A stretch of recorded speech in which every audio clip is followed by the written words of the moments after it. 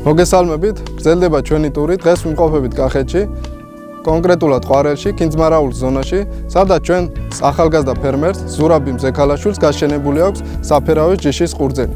ზურაბმა ვენახის გაშენების შემდეგ გადაწყვიტა შეექმნა თავისი წარმოება.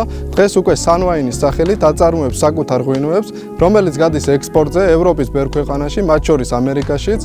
ზურაბის ვენახები ყოველწლიურად ფართოვდება, ასევე ფართოვდება მისი წარმოებაც. ზურაბი არის ახალგაზრდა ფერმერი, რომელიც როგორც წარმოებას ქმნის, ასევე ქმნის სამუშაო ადგილს ბაზარზე, ვინაიდან დასაქმებული ყავს ათეულობით ადამიანი, როგორც ვენახში, ასევე საკუთარ ქარხანაში. დღეს ჩვენი მასპინძელია ადამიანი, რომელიც გაშენების დღიდან აქცევს ყურადღებას აღნიშნულ ვენახებს, ბატონ იური სეფაშვილი, რომელიც ხელმძღვანელობს ყველა იმ აგროტექნიკურ ღონისძიებას, რაც სტარდება ვენახში სეზონის დასაწყისიდან მოსავლის აღებამდე.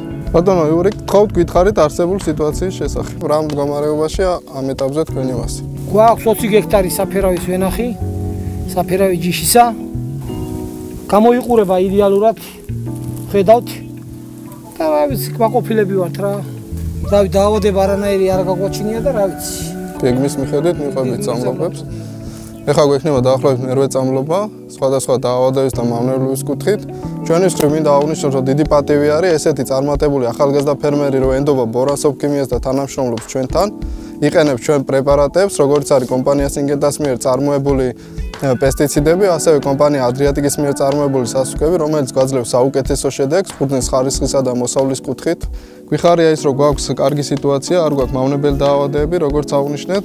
ჩვენ მუდმივად გავაგრძელებთ მონიტორინგს, როგორც აქამდე ვაკეთებდით, დაახლოებით ერთ კვირაში ერთხელ და იმედი გვაქვს, რომ შედეგიც იღე იქნება თქვენთვის და ჩვენთვის მისაღები. წარმატებას გისურვებთ და ბარაკიან შემოდგმას. მადლობა ნდობისთვის.